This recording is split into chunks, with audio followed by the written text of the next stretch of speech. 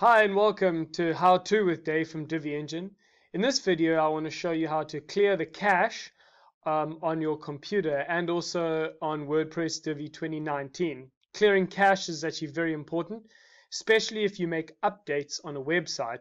You then need to clear the cache because if you don't, when you look to see your updates gone live, you'll actually see what happened before the update. So it's um, it can be quite a confusing thing. You make the updates and then you look at them and they're not there, and you're like, what? That's because of your cache. So I want to show you how to clear your cache. The first way I want to show you how to clear the cache is um, actually, I'm just going to move it slightly, is actually using these three buttons over here. You see the top right, here's the first way. You click uh, these three, you go down to more tools and to clear browsing data. And when you click that, this screen opens up and it gives you a few options. The first one is to um, to clear. Can you see cached images and files? That's the one you want to clear. You could also clear your brow your browsing history and the cookies and other sites, but let's just clear cached images. Can you see clear data?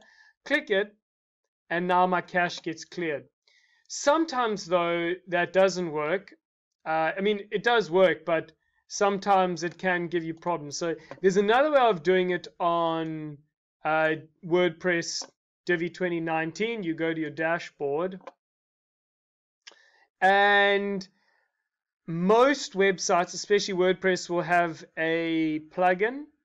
So if I click here, it'll show me my plugins. But now if you look at the top right, it says clear cache.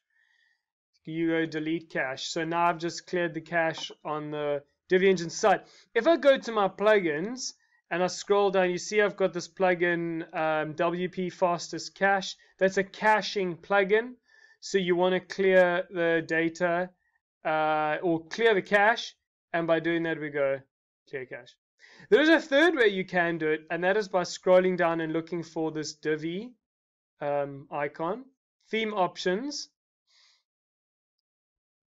You then go to Builder and advanced. Now, can you see it says static CSS file generation? If this is enabled, you'll actually, uh, if I click enabled, you'll see I can click clear. Now I'm clearing the cache, but I disable it. So I don't need to, but you might need to also clear the cache here. Okay, so that's how you clear the, the cache um, to see the updates that you've made. That's clearing cache. Great. I hope you have a good day.